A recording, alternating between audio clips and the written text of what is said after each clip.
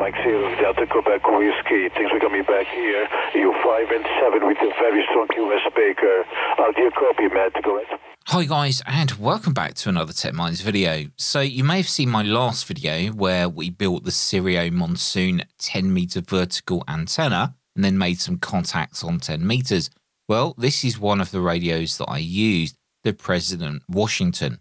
Now I know some of you will just dismiss this radio because it looks like a CB radio. And yes, it can be modified for 11 meter use, but out of the box it comes as an 80 watt 10 meter and 12 meter multi-mode transceiver. And if you do not like these types of radios, that's perfectly fine. Just go watch some kittens playing with wool or something. If you are a long time viewer of my channel, you will know that if a radio is bad, I'll make a point of mentioning it. And if it's good, in my opinion, then I will also mention that. Now, right off the bat, I can truly say that using this radio has been extremely good fun. And I got nothing but compliments from stations that I spoke to on air. I will sum up what I really think of this radio at the end of the video, but first let's just talk about what's in the box. Well, you get a bracket, mic, manual power lead and the radio. Now with that out of the way, let's take a look around the radio itself. Now personally, I actually really like the design of this radio. It's sleek, modern looking and has literally all the main features that you'll need to change accessible by the dedicated front panel buttons. Now when you think of ham radios, this has to be the closest dedicated 10 meter radio that I've tested to date. Now, don't you find it strange how the top tier companies don't make 10 meter dedicated radios nowadays, if ever? On the rear is a rather large heatsink, which incidentally, you can purchase two cooling fans as optional extras. Not entirely sure why they don't include them as standard. I guess countries with warmer weather will appreciate those more than if you're using it in somewhere like the Arctic. The antenna socket is the standard SO239 and the power connector, well, that's in the form of a 3 pin socket. There is a 3.5mm socket for PA or public address and a 3.5mm socket for an external speaker. There's also another socket which looks to me like a 2.5mm socket and that's labelled as Vox. The speaker is located underneath, but as mentioned a moment ago, you can connect an external speaker if that's a problem. Turning on the President Washington, you're presented with a nice and clear display. Now, one of the things I think lets this radio down is the channel numbers, although it does show the frequency on the bottom row of the display. Now, by default, there's 40 channels per block. Each block is assigned a letter, which you can change with the band button and this lets you choose to operate on either 12 meter band or the 10 meter band as it is out of the box. You can, however, change this so that the radio operates in continuous VFO mode, so you don't need to use the band blocks, which is kind of closer to what we'd expect from a ham radio transceiver. So looking on the front panel of the President Washington, we've got the volume control here, we've got the squelch here. If you turn it all away anti-clockwise actually goes into automatic squelch, which is quite cool.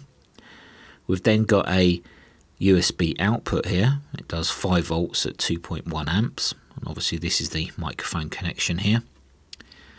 The buttons along the bottom here, we have a mode button which changes between AM and FM and SSB etc. Like so.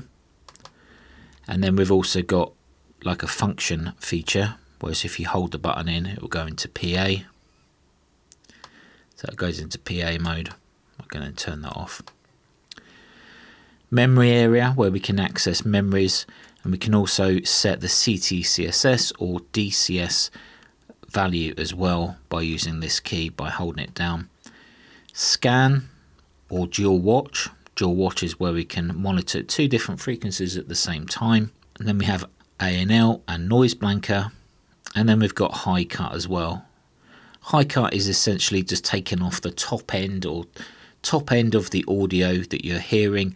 Sometimes it will eliminate some of the hiss that you're hearing and sometimes it'll just make things generally sound better. Over here we've got quick emergency access by pressing the EMG button. This also doubles up to adjust RF gain and also mic gain as well.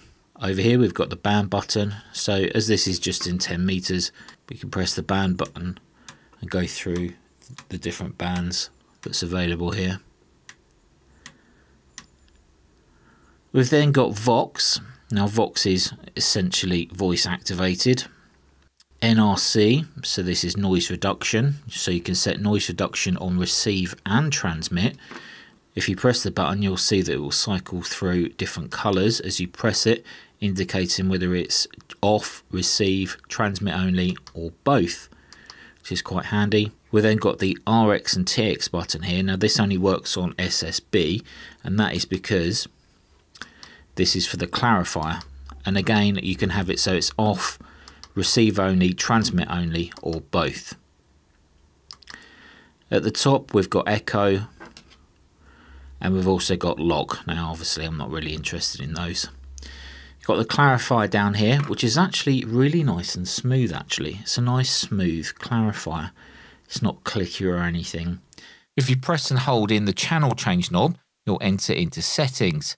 Let's quickly just go through them, starting at the most interesting one, and that's how to change the colour of the screen. So you can choose between a variety of different colours, orange, blue, cyan, etc., etc. You can pretty much choose which one you like to see. Now, I quite like the orange one or the green one. Let us know down in the comments which is your favourite colour. We then have a dimmer option to adjust the brightness of the lighting. We then have tone, which allows us to alter the received tone, and you could adjust this for your listening pleasure. Key beeps, obviously, well, I personally turn them off. And then number five, Roger beep. Yep, I know, it kind of that CB feature although I have heard Roger beeps on 10 meters. We then have indicator, where you can choose to show frequency, SWR, or a timeout timer when you're transmitting. You then got the option to choose between DC or temperature, which is shown on the screen, and then you've got scan mode, and then you've got scan type. Now, scan type and scan skip, they're a whole nother section, which I probably won't cover in this video. PA setting allows you to make some changes with the public address, and then microphone type is where you can choose between an electret microphone and a dynamic microphone. That's quite handy knowing you can change the type of microphone connected. You then got SWR calibration. Now this is where it emits a tone from the radio and it allows you to manually adjust the aerial while it's actually transmitting. Kind of a strange one. You don't really want to be touching the element while it's transmitting, but it will show you the SWR on screen as it's doing this. NRC set is the noise reduction. This is where you can choose the amount of noise reduction applied when the NRC is enabled. Code set is where you can choose between a CTCSS or DCS code, quite useful if you're using it for amateur radio 10 meter repeaters that require a CTCSS on the transmission to open it. Emergency channel allows you to set up an emergency channel that you want it to recall when you press the EMG button. You then have dual watch or DW. This allows you to choose between two frequencies that you can monitor at the same time, essentially just pulsating or flashing between the two channels. Split or repeater operation, again, when you're using 10 meter repeaters, this is quite useful because 10 meter repeaters normally have a 100 kilohertz offset. Now, span setting, I have this turned on. Now, I'll show you what that does specifically later, but it removes the need for using the band blocks and it now works as continuous VFO. You then get call set where you can change the frequency of a calling tone. And then you've got message where you can record an audio message up to 30 seconds and then you can actually then play it back. I guess that's quite handy if you want to record a CQ message and don't want to keep on saying it. You can literally just press the button and it will transmit your call message that you've pre recorded. CQ, CQ, CQ, Mike 0 Delta Quebec Whiskey, CQ10 M0 DQW. CQ, CQ, CQ, Mike 0 Delta Quebec Whiskey, CQ10 M0 DQW. Now, automatic relay is quite interesting. When you've got it turned on, anything that it receives until the squelch is then reactivated, it will then retransmit it. You do have to use CTCSS or tone with this feature, but it will actually record a message up to five minutes and then play it back. Now that's pretty cool, I think. You've then got band name where you can reconfigure the two digits that show the band name. Volume accessory allows you to change the volume output from an accessory that's plugged into the DIN socket, the 6 pin DIN plug socket. SWR protection setting, default I think is 3, but you can change it here if you want it lower. Maximum voltage protection limit, again similar to SWR protection setting, but you can set a maximum voltage so you don't get over voltage. Power limitation, you can actually alter the power that comes out of the radio. Well, kind of. You can actually set it to limit it to 10 watts, limit it to 4 watts, or have no power limitation, which obviously the radio is an 80 watt radio. Echo level, so echo level and echo delay. If you want to have echo on your audio, you can use those functions within the menu to change them to your liking. Temperature unit is where you can choose between Fahrenheit or Celsius. Temperature protection allows you to set a value. The default is 50 or 50 degrees, where the fans would come on if you had them attached. You can obviously alter this if you want to, especially useful again if you're in hot countries. Mic up and down key lock, you can lock that feature so you don't accidentally change frequency. And reset, well, that's to reset the whole radio back to a factory default. Now I did test the power output into a dummy load and here are the results. It is stated to be 80 watts PEP and on average with a whistle on SSB the meter reads around 70 watts. Maybe my meter isn't quick enough. Now here's a couple of clips making some contacts and the last one I'll show you will be a contact from the UK to Australia. Now I wasn't actually prepared to record this QSO it kind of took me by surprise, so I quickly recorded it from my phone. So the quality and audio might be a little hard to listen to, but take a listen to it anyway. number four and best greetings from Saudi Italy. G0 Air IZ7 DOK Marco. Bye bye. Mike Zero Delta Quebec Whiskey.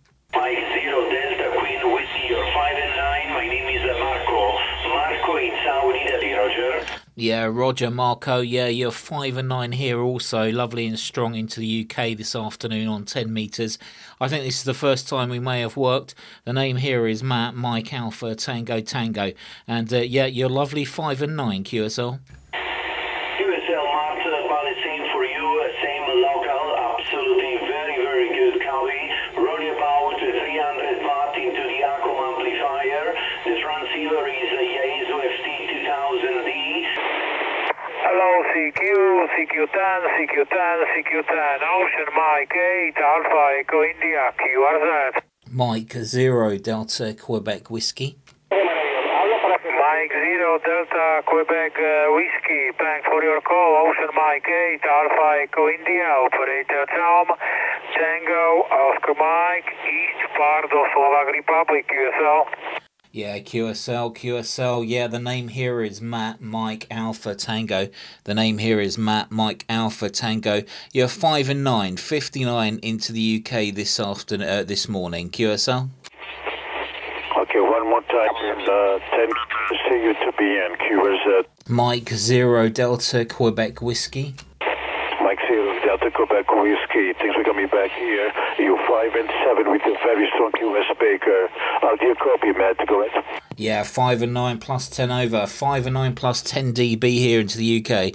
Uh, name here is Matt Mike Alpha Tango. Thanks very much for the contact. It's always a big pleasure, Matt. 73 and good luck, bye bye. Yeah, bye bye.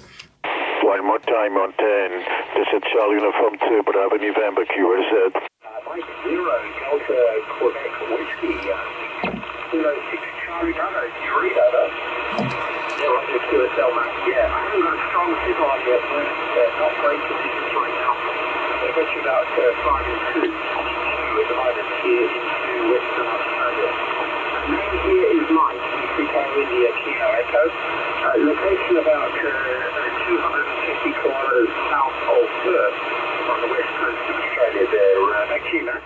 now. I've got you about 5 and 2. Two at the moment here into Western Australia. Name here is Mike, Echo India Kilo Echo. Location about 250 kilometres south of Perth on the west coast of Australia there. Back to you, Matt. Now, one of the things that I always got told when I was using this President Washington is that the modulation sounds really good on this radio. So take a listen to this and let me know what you think about it down in the comments below. This is uh, M0DQW testing audio, testing audio, Mike 0 Delta Quebec Whiskey, testing audio on the President Washington, 12345, over. Now, earlier on, we spoke about the span setting, and when enabled, the radio went into a kind of continuous VFO mode, without the need to use the band button. If you tap the encoder, we can actually change the step size, and that's seeing which digit position will change when it flashes. Now, this is needed as the clarifier doesn't appear to have much of a swing to it, maybe 1 kHz, which is not enough to go between channels when the span feature is turned off. So, I would definitely recommend to have that span feature turned on, always.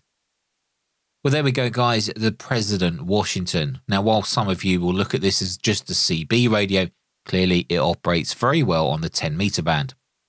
Now with the span feature turned on, allowing continuous VFO, I would have liked to see the channel numbers disappear and only the frequency in a larger font maybe. It would also be nice to have a smooth VFO instead of a clicking one, but I guess President are trying to cater for all types of users. Now imagine if they did make a radio like this, no channel numbers, just a frequency with a smooth VFO.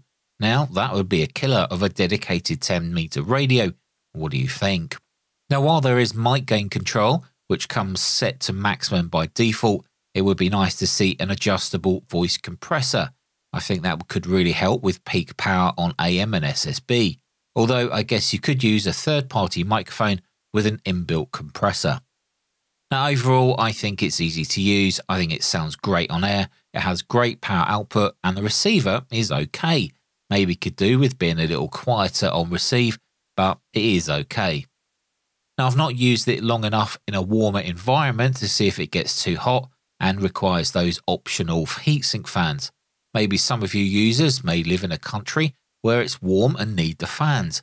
Let me know down in the comments if you live in a warm environment, use this radio, and you actually need the fans. Anyway, guys, that's the President Washington. I'm quite glad that I got this radio now, as it's not exactly cheap, but it works really well. Until next video, take care yourselves, and we'll see you in the next one.